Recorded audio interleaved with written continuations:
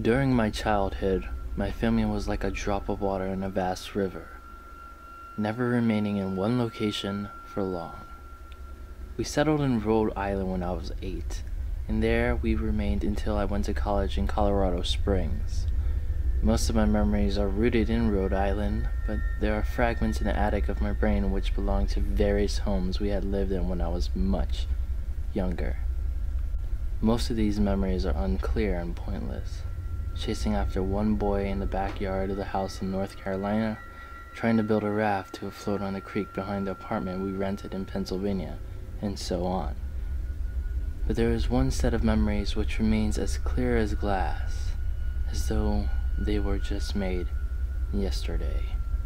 I often wondered whether these memories are simply lucid dreams produced by the long sickness I experienced that spring, but in my heart, I knew they were real. We were living in a house just outside the bustling metropolis of the New Vineyard, Maine, population 643. It was a large structure, especially for a family of three. There were a number of rooms that I didn't see in the five months we resided there. In some ways, it was a waste of space, but it was the only house on the market at the time, at least within hours' commute to my father's place of work. The day after my fifth birthday, attended by my parents alone, I came down with a fever. The doctor said I had mononucleosis, which meant no rough play, more fever for at least another three weeks. It was a horrible timing to be bedridden. We were in the process of packing our things to move to Pennsylvania, and most of my things were already packed away in boxes, leaving my room barren. My mother brought me a ginger ale and books several times a day, and these serve the function of being my primary form of entertainment for the next few weeks. Boredom always loomed just around the corner, waiting to rear its ugly head and compound my misery. I don't actually recall how I met Mr. Widemouth. I think it was about a week after I was diagnosed with mono. My first memory of the small creature was asking him if he had a name. He told me to call him Mr. Widemouth because his mouth was large. In fact, everything about him was large in comparison to his body, his head, his eyes, his crooked ears, but his mouth was by far the largest. He looked kind of like a Furby, I said as I flipped through one of my books. Mr. Widemouth stopped and gave me a puzzled look. Furby? What's a Furby? he asked. I shrugged. You know, the toy, the little robot with big ears. You can pet them and feed them, almost like a real pet. Oh, Mr. Widemouth resumed his activity. You don't need one of those. They aren't the same as having a real friend. I remember Mr. Widemouth disappearing every time my mother stopped by to check in on me. I lay under your bed, he later explained. I don't want your parents to see me because I'm afraid they won't let us play anymore. We didn't do much during those first few days. Mr. Widemouth just looked at my books, fascinated by the stories and pictures they contained. The third or fourth morning after I met him, he greeted me with a large smile on his face. I have a new game we can play, he said. We have to wait until after your mother comes to check on you, because she can see us play it. It's a secret game. After my mother delivered more books and soda at the usual time, Mr. Widemouth slipped out from under the bed and tugged my hand. We have to go to the room at the end of this hallway, he said.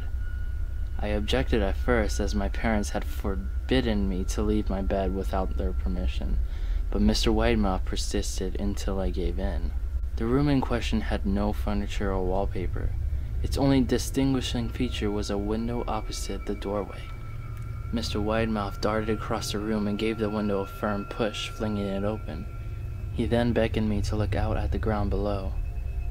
We were on the second story of the house, but it was on a hill, and from this angle the drop was farther than two stories due to the incline. I like to play pretend up here, Mr. Widemouth explained. I pretend that there is a big, soft trampoline below this window, and I jump. If you pretend hard enough, you bounce back up like a feather. I want you to try. I was a five year old with a fever, so only a hint of skepticism darted through my thoughts as I looked down and considered the possibility. It's a long drop, I said. That's all part of the fun. It wouldn't be fun if it was only a short drop. If it were that way, you might as well just bounce on a real trampoline. I toyed with the idea of picturing myself falling through thin air only to bounce to the window on something unseen by human eyes. But the realist in me prevailed. Maybe some other time, I said. I don't know if I have enough imagination. I could get hurt. Mr. Widemouth's face contorted into a snarl, but only for a moment. Anger gave way to disappointment. If you say so, he said. He spent the rest of the day under my bed, quiet as a mouse. The following morning, Mr. Widemouth arrived holding a small box. I want to teach you how to juggle, he said. Here are some things you can use to practice before I start giving you lessons. I looked in the box. It was full of knives. My parents will kill me. I shouted, horrified that Mr. Widemouth had brought knives into my room, objects that my parents would never allow me to touch. I'll be spanked and grounded for a year. Mr. Widemouth frowned. It's fun to juggle with these. I want you to try. I pushed the box away. I can't, I'll get in trouble. Knives aren't safe to throw in the air. Mr. Widemouth's frown deepened into a scowl. He took the box of knives and slid under my bed, remaining there for the rest of the day. I began to wonder how often he was under me. I started having trouble sleeping after that. Mr. Widemouth often woke me up at night, saying he put real trampoline under the window, a big one, and one that I couldn't see in the dark. I always declined and tried to go back to sleep, but Mr. Widemouth persisted. Sometimes he stayed by my side until early in the morning, encouraging me to jump. He wasn't so fun to play with anymore. My mother came to me one morning and told me I had her permission to walk around the outside. She thought the fresh air would be good for me, especially after being confined to my room for so long. Ecstatic, I put on my sneakers and trotted out to the back porch, yearning for the feeling of the sun on my face. Mr. Widemouth was waiting for me. I have something I want you to see, he said. I must have given him a weird look because then he said it's safe. I promise. I followed him to the beginning of a deer trail which ran through the woods behind the house. This is an important path, he explained. I've had a lot of friends about your age, and they were ready, I took them down this path, to a social place. You aren't ready yet, but one day, I hope to take you there. I returned to the house wondering what kind of place lay beyond the trail. Two weeks after I met Mr. Widemouth, the last load of our things had been packed into a moving truck. I would be in a cab of that truck sitting next to my father for the long drive to Pennsylvania. I considered telling Mr. Widemouth that I would be leaving, but even at five years old, I was beginning to suspect that perhaps the creature's intentions were not to my benefit, despite what he said otherwise. For this reason, I decided to keep my departure a secret.